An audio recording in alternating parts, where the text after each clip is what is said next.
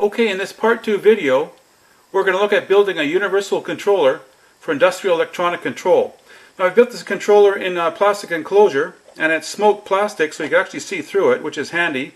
You can see all the LEDs on the board even when the cover is on. So inside my enclosure I got my circuit and I built my circuit on Vero board. So I get a strip of Vero board, uh, just cut it to fit and then mount all my components on the Vero board and then slide it into the enclosure.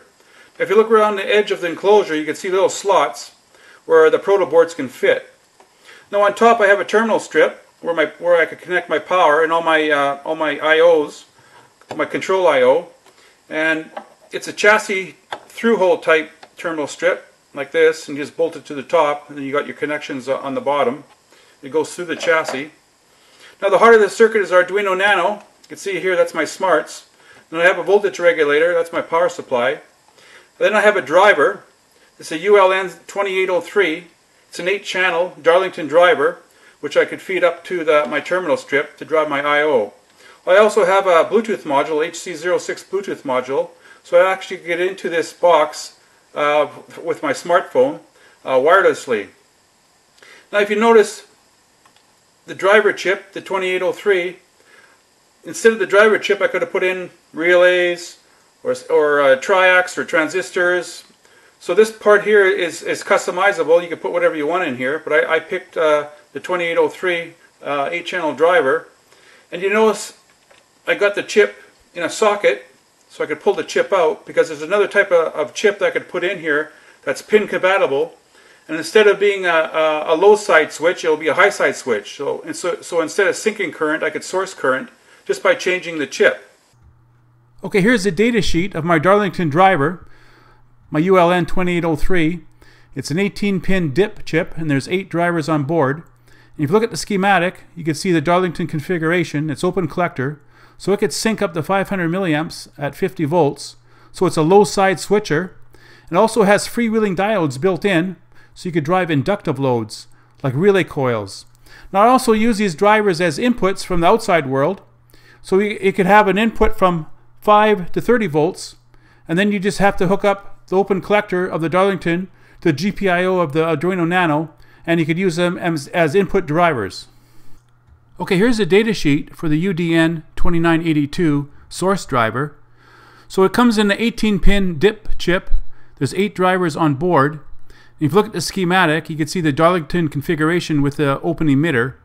So this source driver can source 500 milliamps at 50 volts. So if you need to source current, you can use the 2982 chip. And if you need to sink current, you can use the 2803 chip. And both chips will fit in the same socket because they're pin compatible. Okay, I have my controller up and running a simple program. I'm just flashing two LEDs back and forth. Now those LEDs are being driven by my Darlington drivers. But instead of driving an LED, we could drive a relay, this one here. Or we could drive a solid state relay, like this one here, and it's opto-isolated. Or we could use an AC solid state relay, like this one here, and it's also opto-isolated, and we could run uh, heavy AC loads.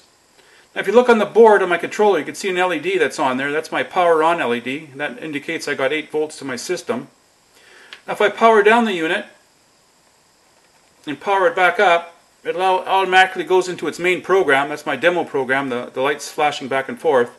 So it's auto boot into the main program. But if you see, if you notice on the side of the box, there's a button. So if I power it down, then hold the button in, and power it up, it goes into a diagnostic mode. You notice that the main program isn't running, the LEDs aren't flashing, but you can see my HC06 Bluetooth module is flashing ready to be paired. So now I can get access to my controller through my smartphone and I can go into diagnostic mode. Okay, I powered up my controller in diagnostic mode and I've paired it to my smartphone. And I have an app running where I can control all the I.O. on my controller board through Bluetooth. So I can turn the LEDs on and off. I can toggle them. If I hold it, it'll toggle automatically. I go to LED number 2, on and off or toggle. We're all both on and off. and both toggle. So I have total control over my controller through my smartphone so I can do diagnostics. I also could get into the operating system, the Forth operating system that's on board. And I could change configurations. I could actually uh, do programming over the air. I could do custom, um, custom diagnostics. So it's very versatile when we have control through Bluetooth. Okay, I powered up my controller in diagnostic mode. And I'm running a serial terminal program on my smartphone called BlueTerm.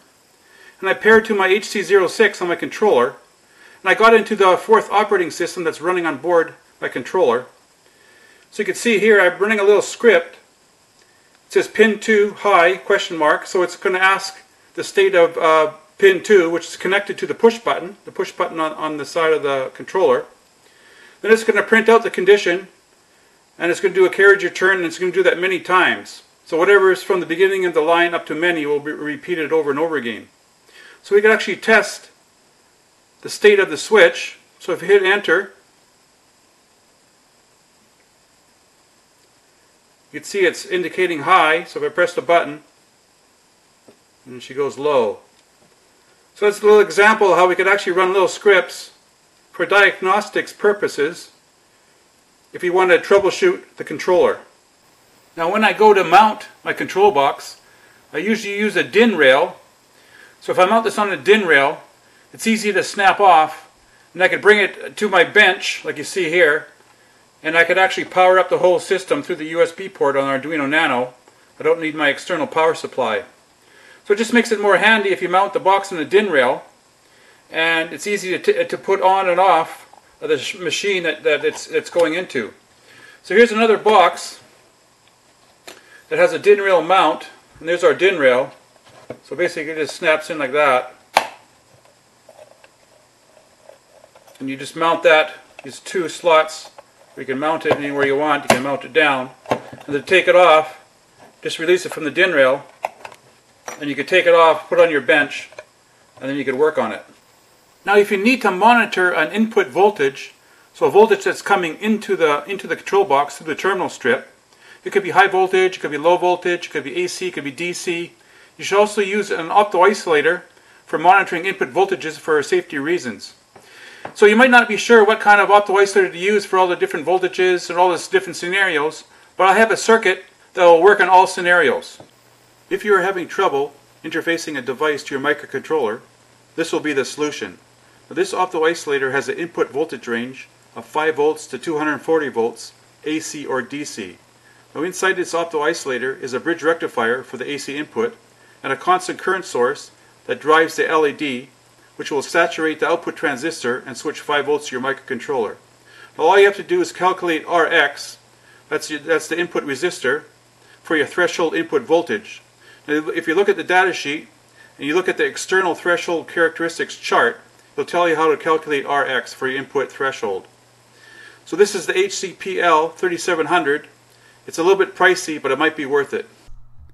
Okay, I'm going to go through a scenario that happens quite often. And I'm going to pick a piece of equipment from the food industry. Now this machine here is a meat processor, it's actually a meat grinder, and new they're about $20,000 US. So this would be used in a meat processing plant. There'd be a few of these in the plant. So one day the plant decides to shut down and they send all their, their machines uh, to the auction for liquidation.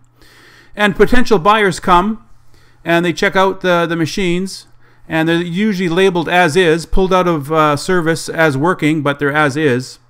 So somebody buys a machine and he takes it home and he, he gets his uh, electrician to wire it up and it doesn't work. So the electrician gets a schematic and starts troubleshooting. Now inside the machine there's a lot of contactors and relays which are easy to get, they're off the shelf parts. And you can see there's a ladder logic schematic and there's a lot of motor start circuits and they check out okay. Then it comes down to the brake module, which you see on the schematic. It's just a rectangle labeled brake module. And the electricians found out that one of the contacts is not coming on in the brake module, and that's the problem.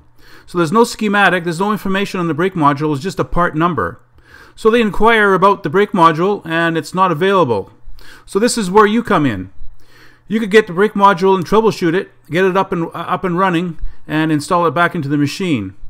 Now, once you do this a few times, word will get out that there's somebody working on these these boards because everybody thinks these boards are black magic, and you'll get more job opportunities.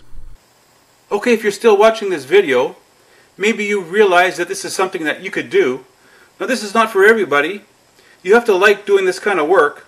You got to talk to people, be a little bit outgoing, uh, be willing to work, be willing to learn. Go to equipment auctions and talk to potential buyers of these machines. Get well known, get a reputation. Now, now, when you build these boards, you don't have to go this complex, like like I've shown here. It could sometimes it could be something very simple to get somebody up and running. Now I've done a lot of this. This is what put me through university. So I just wanted to pass this on to maybe help somebody out there.